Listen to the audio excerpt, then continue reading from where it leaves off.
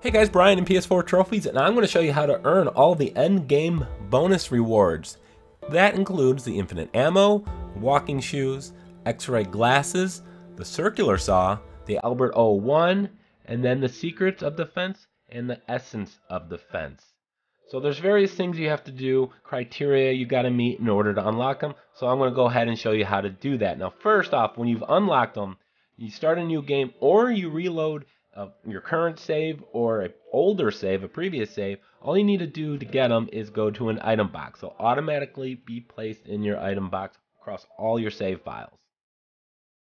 Now, when you do have them in your item box, you're going to have to transfer them into your inventory to take advantage of any of their bonuses.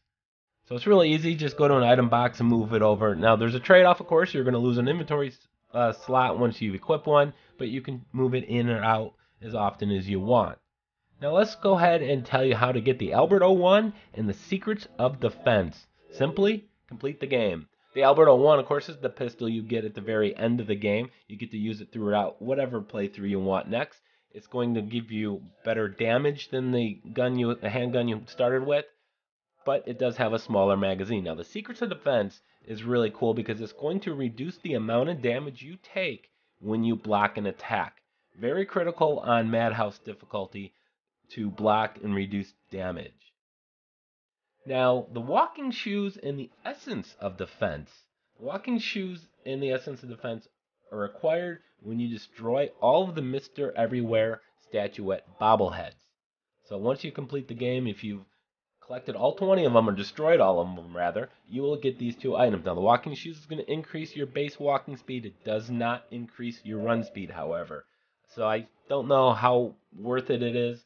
But the essence of defense, very much like the secrets of defense, is going to lower the amount of damage you take when you block an attack. However, if you have both the essence of defense and the secrets of defense in your inventory, in your bag, at the same time, when you block an attack, it'll completely negate all damage, which is spectacular, especially on Madhouse difficulty against the bosses. Now the x-ray glasses and the circular saw, you will earn these by completing a speed run of the game on any difficulty in less than 4 hours. The x-ray glasses are really nice because it's going to highlight all the pickups, all the items, the the ammo pickup, herbs, things like that. It's going to highlight all of them for you. Now the circular saw is a beautiful, beautiful, beautiful melee weapon. As soon as you get it, throw away the knife because this is all you need.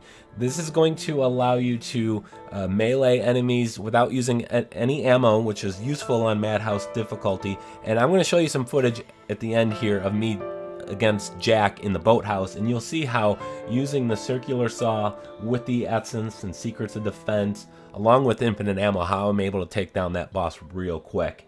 Now the circular saw, like thumbs up for me. Now the infinite ammo, the one everyone wants. Unfortunately, you're going to have to complete the game on Madhouse difficulty at least once before you can get this. But it's pretty self-explanatory. You can walk around with the, the grenade launcher and just shoot uh, grenades all day long without having to worry about trying to find more ammo. It's an awesome thing, but of course, you have to complete Madhouse. At that point, you're probably done with the game but there it is. So I'm going to leave you guys with some footage, as I mentioned, of, of the fight against Jack on Madhouse difficulty in the boathouse. I hope you guys enjoy that. See you soon.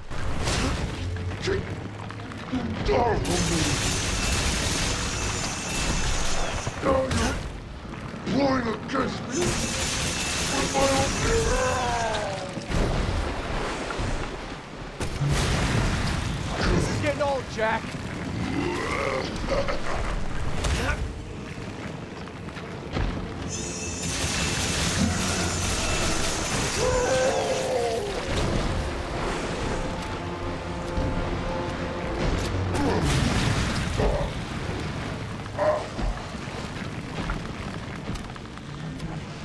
Don't be a fool.